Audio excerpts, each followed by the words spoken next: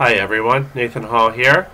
Today's lesson we're doing math terms, percentages, decimals, and fractions.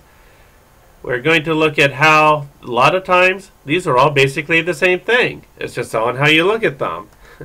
so here's a preview question from science. 19% of your body is carbon.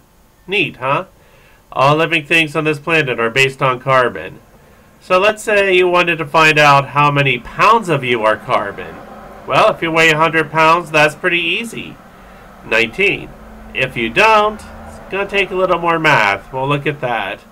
So your body is about 70% water as well. How can we write that as a fraction? And the air we breathe, 80% nitrogen. How could you write that? As far as percentages go, one place we tend to use that a lot, sales tax. Unless you're buying grocery store food or clothes in Pennsylvania, you have to pay 6% sales tax. You have to pay sales tax too in Puerto Rico, but the rules are a little different. Every state has its own rules. So if you bought $100 worth of video games, that's what you pay $106. $6 is your tax. So let's say you just buy one. You're only buying one Call of Duty game for $60. How are you going to figure that out? And can we figure out the sales tax as a fraction? We actually can. So for some of you, this will be a review of things you know, others a preview. So percent is a ratio that compares a number to 100.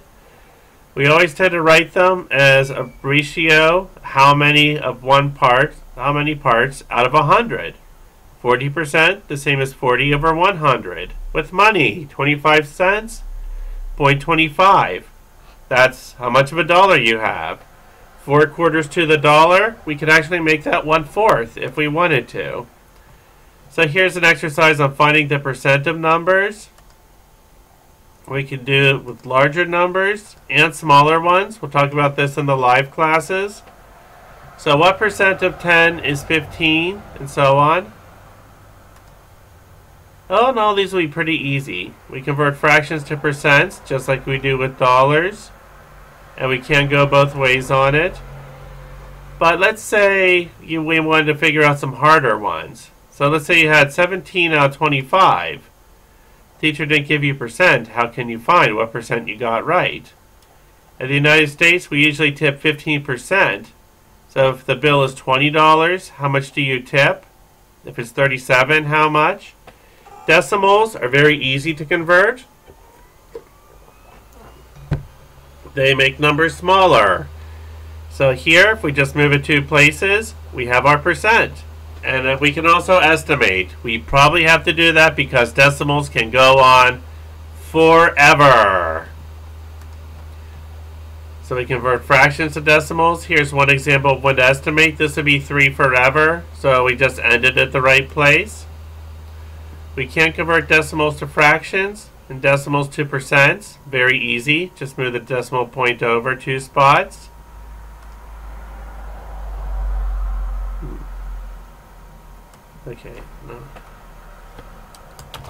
I erased that one. Okay. So if we were to write equivalent decimal here, talk about doing the live class. Now this slide is going to be really useful. This shows some quick and dirty answers for conversion to make things much easier. This will help you make sense of, this will get you through a lot of the fractions and percents real quickly. Some places we see these when you're driving. Each one of these is a fraction of your gas tank decimals whenever you buy things, measure things, and percents. The amount you get off, and we have this on your battery, on your cell phone. You'll see that a lot as well. So we talked about some real world usage. We'll do that again. We can turn fractions into percents. And otherwise, so the rest of this, we'll just go through some more information and in the live class review some word problems. So decimals, remember, that's if you have a number, a dot, and more numbers.